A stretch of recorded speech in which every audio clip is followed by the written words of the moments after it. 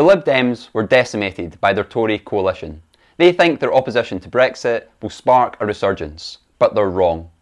There are only five seats in Scotland where the Lib Dems are in a strong position, and they already hold four of them.